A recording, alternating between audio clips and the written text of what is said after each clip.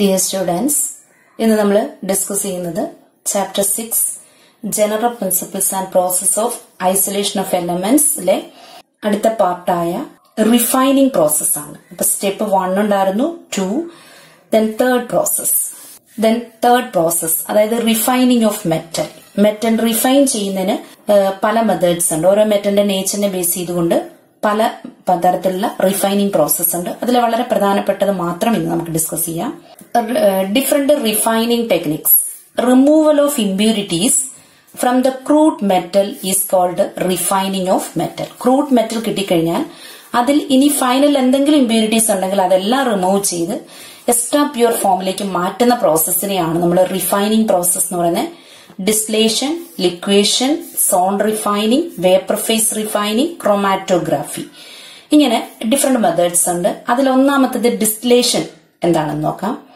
ഡിസ്ലേഷനകത്ത് impure metal is evaporated to get pure metal അതായത് example zinc and mercury are refined by distillation ഇത് ഈ model എക്സാമിന് ചോദിച്ചായിരുന്നു ഏത് മെറ്റലിനെയാണ് ഡിസ്ലേഷൻ വഴി റിഫൈൻ ചെയ്യുന്നത്? സിങ്ക് മെർക്കുറി തുടങ്ങിയ തുടങ്ങിയ മെറ്റൽസ് എക്സാമ്പിൾ പഠിച്ചു വെച്ചേക്കണം. അതായത് ഡിസ്ലേഷൻ എന്ന് പറഞ്ഞാൽ ആദ്യം വേപ്പറൈസ് ചെയ്ത് ശേഷം അതിനെ ഡിസ്ലേ ചെയ്ത് മാറ്റുന്നു. അതായത് in distillation impure metal is evaporated to get pure metal then അടുത്ത് ഏറ്റവും സിമ്പിൾ ആയിട്ടുള്ള ഡെഫിനിഷൻ മാത്രമേ ഇവിടെ എടുത്തിട്ടുള്ളൂ. അപ്പൊ നിങ്ങൾ ജസ്റ്റ് ഇത് മാത്രം എക്സാമിന് വേണ്ടി പഠിക്കുക. അടുത്ത ലിക്വേഷൻ എന്ന് പറഞ്ഞാൽ in this process impure metal is melted on a sloping floor example tin is purified by liquation അതായത് ഇംപ്യൂർ മെറ്റലിനെ മെൽറ്റ് ചെയ്ത ശേഷം പിന്നെ മെൽറ്റ് ചെയ്തുകൊണ്ട് അതിനെ പ്യൂർ ഫോമിലേക്ക് മാറ്റുന്നു. In this process impure metal is melted on a sloping floor example tin example പഠിച്ചു വെച്ചേക്കുക. ദെൻ എല്ലാ വർഷവും എക്സാമിന് ചോദിക്കുന്ന ഒരു ക്വസ്റ്റ്യൻ ആണ് സോൺ റിഫൈനിങ്ങും വേപ്പർ ഫേസ് റിഫൈനിങ്ങും അതായത് സോൺ റിഫൈനിങ് എന്താണ് നോക്കുന്നത്? പ്രിൻസിപ്പിൾ എന്താണെന്ന് നോക്കാം. Impurities are more soluble in the melt than in the solid state of the metal അത് ഇമ്പ്യൂരിറ്റീസ് മോർ സോലബിൾ ആയിരിക്കും. Are more soluble in the melt form than in the solid state of the metal അതാണ് അവിടുത്തെ basic principle ആയിട്ട് എടുക്കുന്നത്. അപ്പൊ ഇവിടെ ചെയ്യുന്ന process കൂടി നമുക്കൊന്ന് just വായിച്ചേക്കാം.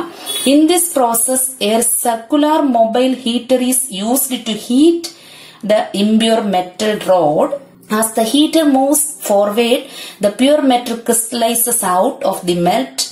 The molten part moves along with the heater. The process is repeated several times. At one end, impurities get concentrated. This end is cut off. ഇതാണ് സിലിക്കണും ജെർമേനിയം പോലുള്ള സെമി കണ്ടക്ടേഴ്സിനെയാണ് സോൺ റിഫൈനിങ് വെച്ച് നമ്മൾ separate ചെയ്ത് എടുക്കുന്നത് അല്ലെങ്കിൽ refine ചെയ്തെടുക്കുന്നത് in zone refining an impure metal rod is heated using circular mobile heater അതായത് സോൺ റിഫൈനിങ് നമ്മൾ സിലിക്കണോ ജെർമേനിയോ പോലുള്ള ഇംപ്യൂർ മെറ്റൽസ് മെറ്റലിന്റെ റോഡ് എടുക്കുന്നു. Is heated using a circular mobile heater ഒരു സർക്കുലർ മൊബൈൽ ഹീറ്റർ ഉപയോഗിച്ചുകൊണ്ട് അതിനെ ഹീറ്റ് ചെയ്യുന്നു. On heating the rod begin to melt heat ചെയ്യുന്ന സമയത്ത് ആ ഇംപ്യൂർ മെറ്റൽ റോഡ് ഹീറ്റ് ആകും മെൽറ്റ് ചെയ്യാൻ തുടങ്ങും. As the heater moves forward അപ്പൊ നമ്മൾ സർക്കുലർ മൊബൈൽ ഹീറ്റർ ഫോർവേഡിലേക്ക് മൂവ് ചെയ്യുന്ന സമയത്ത് പ്യുവർ മെറ്റൽ ക്രിസ്റ്റലൈസസ് ഔട്ട്. അതായത് നമ്മുടെ മെറ്റാലിക് റോഡ് മെൽറ്റ് ചെയ്ത് അതിനകത്തെ മെറ്റൽ പോർഷൻ ക്രിസ്റ്റലൈസ് ഔട്ട് ആകും. And the impurities moves along with the heater impurities ആണെങ്കിൽ ഹീറ്ററിനോടൊപ്പം തന്നെ moves along with the heater move ചെയ്യും. The process is repeated several times ഈ പ്രോസസ് പല പ്രാവശ്യം റിപ്പീറ്റ് ചെയ്യുക. അപ്പൊ അങ്ങനെ ചെയ്യുന്ന സമയത്ത് മാക്സിമം ഇംപ്യൂരിറ്റീസ് റിമൂവ് ചെയ്യപ്പെടുകയും അല്ലെങ്കിൽ ഒരു എൻഡിലേക്ക് സെപ്പറേറ്റ് ചെയ്യപ്പെടും. At one end impurities get concentrated അപ്പം ആ എൻഡിൽ ഇമ്പ്യൂരിറ്റീസ് കോൺസെൻട്രേറ്റ് ചെയ്തിരിക്കുന്ന എൻഡിൽ എൻഡിനെ കട്ട് ചെയ്ത് നമുക്ക് മാറ്റാം. Extra pure metals like silicon and germanium are purified by this method അപ്പൊ ഇത് ഒന്ന് വായിച്ച് മനസ്സിലാക്കുക. സിലിക്കണും ജെർമേനിയം പോലുള്ള മെറ്റൽസിനെയാണ് സോൺ റിഫൈനിങ് വെച്ച് നമ്മൾ സെപ്പറേറ്റ് ചെയ്യുന്നത്. റിഫൈനിങ്ങിലെ അടുത്ത പ്രോസസ് വേപ്പർ ഫേസ് റിഫൈനിങ് ആണ്. Here the metal is converted into volatile compound അപ്പൊ നമുക്ക് കിട്ടിയിരിക്കുന്ന മെറ്റൽ കോമ്പൗണ്ടിനെ മെറ്റൽ ഉണ്ട് റിഫൈൻ ചെയ്യേണ്ട മെറ്റൽ ഫോം ഉണ്ട്. അപ്പൊ അതിനെ ആ മെറ്റലിനെ വേപ്പർ ഫേസിലേക്ക് മാറ്റുന്നു വോളറ്റൈൽ കമ്പോണന്റ് ആക്കി മാറ്റുന്നു. On heating the volatile component decomposes to give the metal ഈ വോളറ്റൈൽ കമ്പോണന്റ് കിട്ടിക്കഴിഞ്ഞാൽ അതിനെ ഡീകമ്പോസ് ചെയ്യിപ്പിച്ച് പ്യുർ ഫോമിലുള്ള മെറ്റലാക്കി മാറ്റാം. അപ്പോഴ് വേപ്പർ ഫേസ് റിഫൈനിങ് രണ്ട് ടൈപ്പാണ് Mond process van Arkel process Mond process and van Arkel process Mond process വഴി നിക്കലിനെയാണ് നമ്മൾ റിഫൈൻ ചെയ്യുന്നത്. അപ്പൊ നിക്കൽ എന്ന് പറയുന്ന ഇംപ്യൂർ ആയിട്ടിരിക്കുന്ന നിക്കലിനെ ഹീറ്റ് ചെയ്ത് ഓളറ്റൈൽ കമ്പോണന്റ് ആക്കണം. അതായത് കാർബൺ മോണോക്സൈഡുമായി ചേർത്ത് ഹീറ്റ് ചെയ്യുന്നു. അപ്പോൾ നിക്കലിന്റെ കാർബണൈൽസ് കിട്ടും. Tetra കാർബണൈലാണ് N I C O four times ഇവിടുത്തെ ഒരു പ്രത്യേകത എന്ന് പറയുന്നത് ചിലപ്പോൾ ഇത് ഒരു ഡയഗ്രം ആയിട്ട് ഒക്കെയാണ് ക്വസ്റ്റ്യനിൽ ചോദിച്ചിട്ടുള്ളത്. നിക്കലിനെ കാർബൺ മോണോക്സൈഡുമായി ചേർത്ത് N I C O four times ആക്കി മാറ്റുന്ന രീതിയിൽ. അപ്പൊ ആ ഒരു ഇക്വേഷൻ എഴുതി കാണിക്കാം. ആ ഇക്വേഷൻ കിട്ടുകയാണെങ്കിൽ അത് ആ കിട്ടുന്ന കോമ്പൗണ്ട് വോളറ്റൈൽ കമ്പോണന്റ് ആണ്. അതിനെ വീണ്ടും ഹീറ്റ് ചെയ്യുക. ഹീറ്റ് ചെയ്യുന്ന സമയത്ത് അത് ഡീകമ്പോസ് ചെയ്തിട്ട് നിക്കലും കാർബൺ മോണോക്സൈഡുമായിട്ട് മാറും. ദാറ്റ് ഈസ് പ്യുവർ ഫോമുള്ള നിക്കൽ നമുക്ക് കിട്ടുന്ന കാണാൻ പറ്റും. അപ്പൊ അതിന്റെ ഒരു ഇക്വേഷൻസ് ഒക്കെയാണ് ചില വർഷങ്ങളിൽ ക്വസ്റ്റ്യൻസ് ആയിട്ട് ചോദിച്ചിട്ടുള്ളത്. അപ്പൊ നിക്കലിന്റെ refining process vapour phase refining ആണ്. അതിൽ തന്നെ പറയുന്ന പ്രോസസ് മോൺ പ്രോസസ് ആണ്. ഇനി രണ്ടാമത്തെയാണ് വാനർക്കൽ പ്രോസസ് ഇക്വേഷൻ എഴുതി കാണിക്കുകയാണെങ്കിൽ ഇംപ്യൂർ നിക്കലിനെ കാർബൺ മോണോക്സൈഡുമായിട്ട് ഹീറ്റ് ചെയ്യുമ്പം N I C O four നിക്കലിന്റെ tetra carbonyl എന്ന് പറയുന്ന കോമ്പൗണ്ട് ആണ്. ഇത് വോളറ്റൈൽ കോമ്പൗണ്ട്സ് ആണ്. അപ്പൊ ഇതിനെ വീണ്ടും നമ്മൾ ചൂടാക്കുമ്പോൾ നിക്കലായിട്ട് മാറുന്നു. നിക്കൽ പ്യൂർ ഫോമിലേക്ക് മാറ്റുന്നു മാറപ്പെടുന്നു. പ്ലസ് കാർബൺ മോണോക്സൈഡും കിട്ടുന്നുണ്ട്. അപ്പൊ ഈ ഈ പ്രോസസ്സാണ് നമ്മൾ മോൺ പ്രോസസ് എന്ന് പറയുന്നത്. എക്സാമിന് ഈ ഇക്വേഷൻ തന്നിട്ട് ഇത് ഏത് പ്രോസസ്സാണെന്ന് ചോദിക്കാം.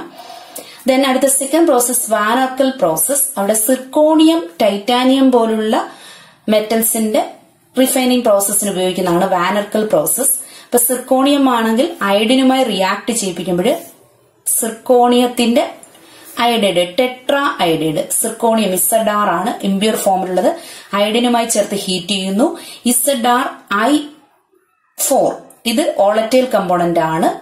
ഈ ഓളറ്റൈൽ അയഡൈഡിനെ ഹീറ്റ് ചെയ്ത് പ്യുവർ ഫോമിലുള്ള സിർക്കോണിയമാക്കി നമുക്ക് മാറ്റാൻ പറ്റുന്നുണ്ട്. ഈ പ്രോസസ്സിനെയാണ് വാനർക്കൽ പ്രോസസ് എന്ന് പറഞ്ഞാൽ ഇതുപോലെ തന്നെ ടൈറ്റാനിയത്തെയും ഇതുപോലെ ടൈറ്റാനിയത്തിന് അയഡിനുമായി റിയാക്ട് ചെയ്യിപ്പിച്ചിട്ട് ടി ഐ ഐ ഫോർ എന്ന് പറയുന്ന വോളറ്റൈൽ കമ്പോണന്റ് ഫോം ചെയ്യും. അതിനെ വീണ്ടും ഹീറ്റ് ചെയ്ത് ടൈറ്റാനിയമായിട്ട് പ്യുവർ ഫോമിലേക്ക് മാറ്റുകയും ചെയ്യാം. അപ്പൊ ഇത്രയും കാര്യങ്ങൾ കാര്യങ്ങളാണ് നമുക്ക് റിഫൈനിങ് പ്രോസസ്സിൽ വളരെ പ്രധാനപ്പെട്ടതായിട്ട് ഈ ഫോക്കസ് പോയിന്റ് ബേസ് ചെയ്ത് നിങ്ങൾ പഠിക്കുക ഈ എക്സാമിന് വേണ്ടിയിട്ട്. ഇനി കുറച്ച് ക്വസ്റ്റ്യൻസ് കൂടി ഇതുമായി ബന്ധപ്പെട്ട് പറഞ്ഞു തരാം. പ്രധാനപ്പെട്ട പരീക്ഷയ്ക്ക് ചോദിക്കുന്നു. ചില മെറ്റലുകളുടെ ഓർ പറയാം. സിങ്കിന്റെ ആണെങ്കിൽ ഓറുകളാണ്. കലാമിൻ സിൻസൈറ്റ് സിങ്ക് ബ്ലെൻഡ് നിങ്ങൾക്ക് പഠിക്കാൻ പറ്റുന്ന അത്രയും എക്സാമ്പിളിൽ പഠിക്കുക. അയണിന്റെ ore hematite magnetite iron pyrites siderite കോപ്പറിന്റെ ഓറാണ് malachite cuprite copper glance copper pyrites അലൂമിനിയത്തിന്റെ ഓറ് ബോക്സൈറ്റ് കയോലനൈറ്റ് ഇതുപോലെ ചോദിക്കുന്ന ഒരു ക്വസ്റ്റ്യൻ ആണ്. ചില മെറ്റൽസ് തന്നിട്ട് അവരെ ഏത് റിഫൈനിങ് പ്രോസസ് ആണ് നടത്തുന്നത്? ഏത് കോൺസെൻട്രേഷൻ പ്രോസസ് ആണ്? ഏത് റിഫൈനിങ് പ്രോസസ് ആണ്? എന്നൊക്കെ ചോദിക്കാം. അപ്പൊ ഇവിടെ റിഫൈനിങ് ടെക്നിക്സ് നോക്കാം. ഡിസ്ലേഷൻ പ്രോസസ് വഴി റിഫൈൻ ചെയ്യുന്നതാണ് സിങ്ക് മെർക്കുറി ലിക്വേഷൻ വഴി ടിന്നിന് ടിൻ എന്ന് പറയുന്ന മെറ്റൽസ് ആണ്. Zone refining silicon and germanium. Vapour phase refining nickel zirconium titanium പോലുള്ള മെറ്റൽസിന്റെ കേസിലാണ്.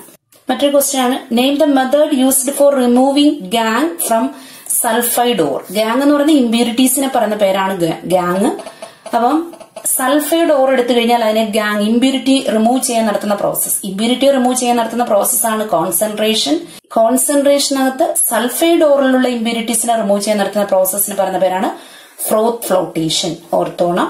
പിന്നീട് അടുത്ത മറ്റൊരു ക്വസ്റ്റ്യൻ ചോദിച്ചാണ് ക്രോ carbonate ores are subject to calcination while sulphide ores are subject to roasting why oxygen is not used up in calcination കാൽസിനേഷന്റെ കേസിൽ നമ്മൾ oxygen ഉപയോഗിക്കുന്നില്ല. കാർബണേറ്റ് ഉപയോഗിച്ചാൽ മാത്രമേ ആ അത് ഹീറ്റ് ചെയ്യുമ്പോൾ കറസ്പോണ്ടിങ് ഓക്സൈഡായി മാറുകയുള്ളൂ. അതേസമയം റോസ്റ്റിങ്ങിനകത്ത് നമ്മൾ ഓക്സിജൻ ഉപയോഗിക്കുന്നുണ്ട്. കാരണം സൾഫൈഡ് ഓറിന്റെ സാന്നിധ്യത്തിൽ സൾഫൈഡ് ഓർ ആണെങ്കിൽ ഓക്സിജനുമായി ചേരുമ്പോൾ ഇപ്പൊ എക്സാമ്പിൾ സിങ്ക് സൾഫൈഡ് ആണെങ്കിൽ സിങ്ക് ഓക്സൈഡും സൾഫർ ഡയോക്സൈഡുമായിട്ട് മാറുന്നു. അങ്ങനെ ഏത് സൾഫൈഡ് ഓറിന്റെ കേസിലാണെങ്കിലും അങ്ങനെ തന്നെ നമുക്ക് പറയാം. അതുപോലെ മറ്റൊരു ക്വസ്റ്റ്യൻ അലൂമിനിയത്തിന്റെ പ്രിൻസിപ്പൽ ഓർ ഏതാണ്? മെയിൻ ഓർ ഏതാണ്? ബോക്സൈറ്റ് എന്ന് പറയുന്നതാണ് അലൂമിനിയത്തിന്റെ ഓർ